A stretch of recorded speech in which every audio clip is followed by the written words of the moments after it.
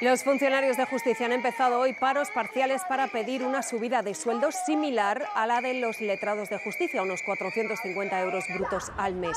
Según los sindicatos, un 85% de los 45.000 funcionarios han parado durante tres horas y cifran en 700.000 las actuaciones judiciales paralizadas. Somos el motor de los juzgados y está bien que se reconozca al resto de cuerpos, se les reconozca su función, pero nosotros venimos exigiendo desde hace más de 20 años, repito, ese reconocimiento de esas funciones. Y es lo que estamos diciendo y es lo que estamos pidiendo.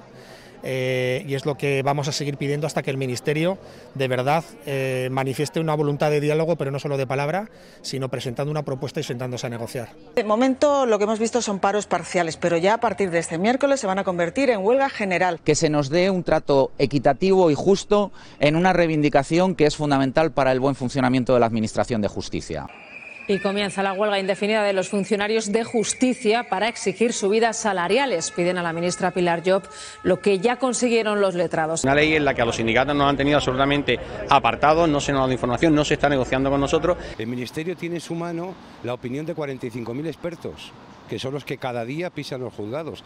O persoal funcionario reclama a paralización da Lei Orgánica de Eficiencia Organizativa no sector público e unha negociación directa co Ministerio de Xustiza como tiveron tamén os letrados da Administración de Xustiza que lembramos acababan de pactar entre outras medidas unha suba salarial de 400 euros.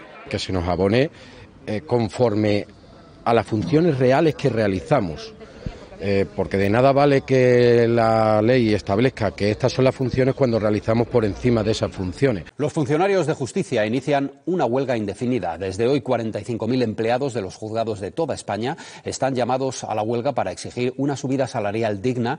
700.000 actuaciones eh, procesales se han visto interrumpidas y decenas de miles de juicios se han visto paralizados. Si el Gobierno no recapacita, si el Gobierno no presenta una propuesta razonable y no se sienta a negociar, la situación en la justicia va a ir a peor.